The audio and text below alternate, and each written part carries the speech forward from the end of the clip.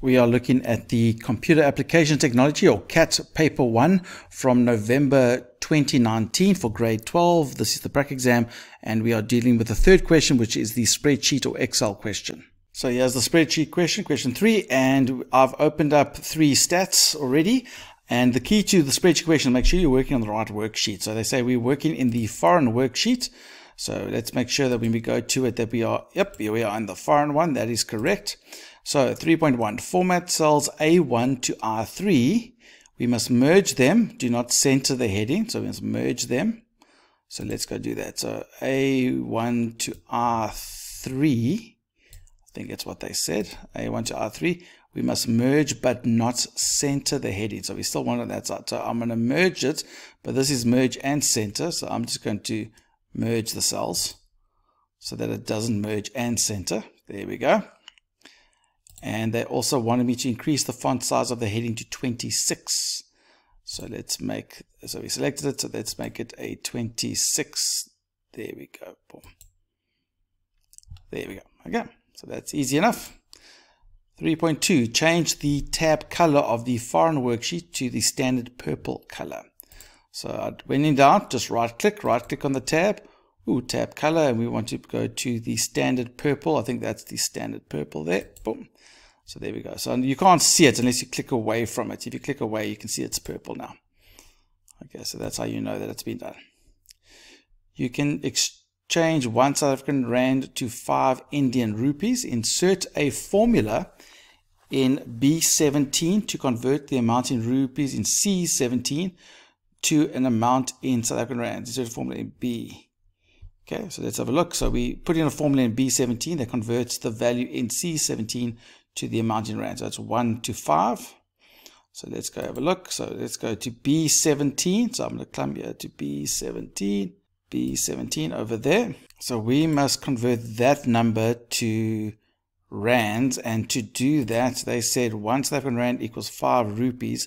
So that is currently rupees. Looks like it is. So we want to convert it to rand. So therefore, we must say equals that value divided by 5 okay? Because that's already in rupees. So if it was rands we would times it by 5 but now because we're going from rupees to rands we divide it by 5 and we should get a value of about 9,000 if I check correctly. There we go 93 uh, except for this is rupees. We want to change that to a to South African rand. So I'm going to change that format cells let's make it to South African rand. So the currency we don't want that symbol. We want a rand for South Africa. So let's go find rand. It'll probably be down the bottom. Yeah, South African rand. Let's go South Africa. There, English South Africa. Boom, we'll use that one. Thank you. Boom, there we go. Rand South African. 3.4 modify so change cell C74 so we can't change we can't rewrite it we must change what's currently there to calculate the grand total by adding the total income for continents content in column C. So basically all of them. So let's have a look. C74. So let's go down to C74 all the way down. Boom, there's C74.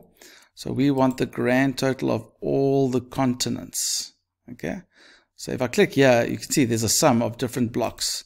So it's got that block plus that block. Oh, this one looks like it's missing that one, that one. So all the totals have been added. So obviously this one's missing. So number 52. So I'm going to come over here, put a comma and just add that block C52 so that it's included in the calculation. That was a tricky little question, a little devious one. Okay. 3.5. Insert a formula in D8 to determine how many tourists from the USA visited the Taj Mahal in 2016 two marks. How many tourists from the USA visited Taj Mahal in 2016? So let's go back in D6. D6 there. Okay, so we're going to work out how many for the US. Well, that, that's the total for North America, and that's the Canada component. So if you look at the, it's basically those numbers added together equals that number. So they, to get this one, that'll obviously be the total, and if you just exclude the Canadians. I think that should give us the right answer there. Okay, 3.6. Columns G and H contain the change in the number of tourists from each year, from one year to the next, okay? We want conditional formatting to H17 to H32 to automatically display the number in a green font. So green font, if the 1718 change is greater than the 1617 change. So the 1718 is bigger than the 1617. So it's gone up basically, it's increased. Okay, so H17 to H32. So H17, so there we go, H17 to H32. So that's, there we go, that's the cells that we want to apply conditional form. And we want it to be in green font if this value is bigger than that value, if the change is increased. So we're going to go apply conditional formatting. We're going to put a new rule and we want to based on a it's based on a formula basically. So we first of all we want a green font. So the font must be green. So i'm going to click a green font. There we go. Okay so what is the rule? It's if so we, i'm just going to do for if this block is greater than that block. Now, you see it's put conditional formatting? So it's going to look at H17 every single time for all of them. I actually want it when it goes down to here, I must look at H18. So I'm going to take those question, those, uh, those dollar signs out so that when it goes down, it refers to H18 and so on. So I'm doing this for the first block, but it'll do H18, G18, H19, G19. So let's see if that works. Let's click OK. Boom. So let's look. So that value, yeah, that is, I know it doesn't look, but it's a negative value. There, you see 12 is bigger than 9, so it doesn't change that one. Yes, it looks like it's working. There we go. Okay, there we go. Done. 3.6. Let's move on to 3.7. India Tourism will implement an advertising campaign in other countries based on the number of tourists that visited it. So we're looking at column D, E, and F.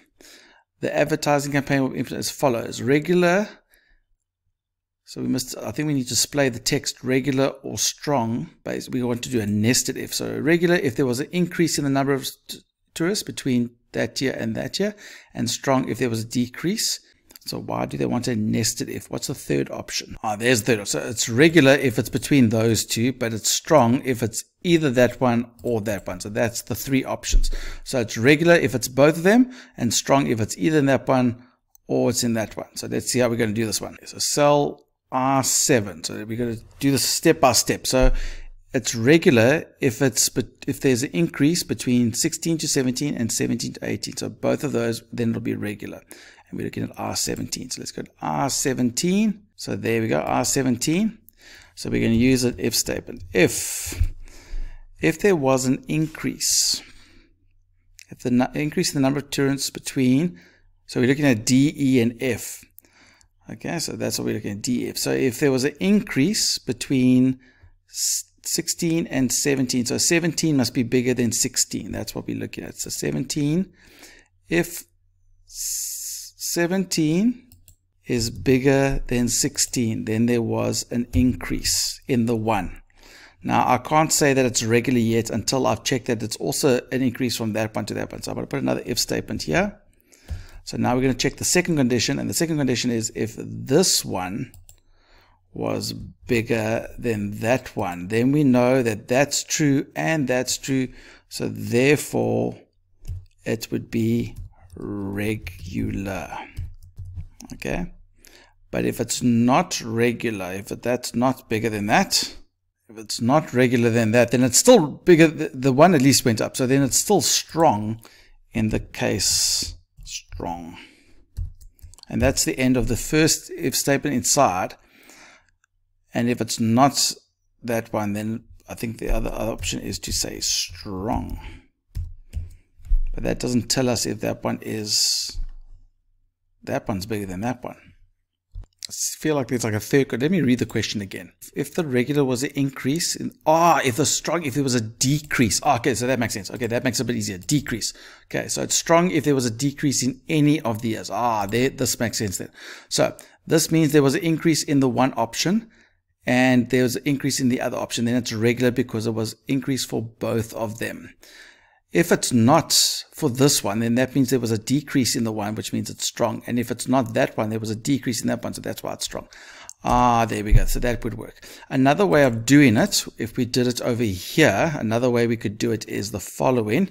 We could say equals if, and we could probably use an and. This is not using nested ifs though. If we said and, and means both conditions must be true. If this condition is bigger than that condition, that's my one option. And this condition is bigger than that condition. So if D is greater than E, and E is greater than F, that means there was an increase in both of them. If that is true, which means and means they're both true, then it's obviously regular. And if it's neither, that means it's, it's a false. It means one of them is, is obviously going down, which means then it would be strong. So that would be a way of doing it without a nested if. That would also give you similar results. Mm, very tricky. So let's go to work in the country worksheet. So let's go work in the country. So let's go to, yeah, we're going to go click on country and we want to do, what do we want to do? We want to change the chart so that it appears as follows. So we want to delete the F or the 2017 series. That's the first thing we want to do, 2017 series. So I'm going to right click and select the data.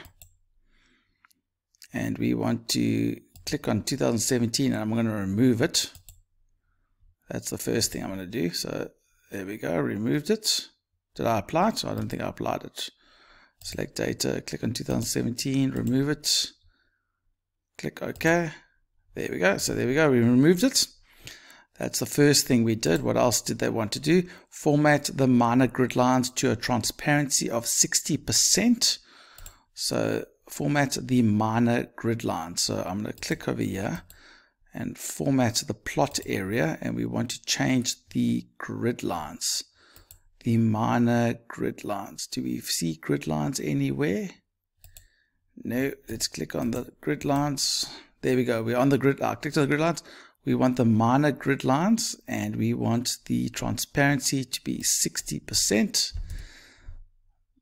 There we go. So 60% transparency. Is that what they wanted? So I just clicked on the grid lines and I got to that option. Format the minor grid to transparency 60. Change the legend text series 1 to 2016. So if we look there, you see it says series 1. So that's also the data. So format, select the data. Um, that's series 1. That must edit that. That must be 2016.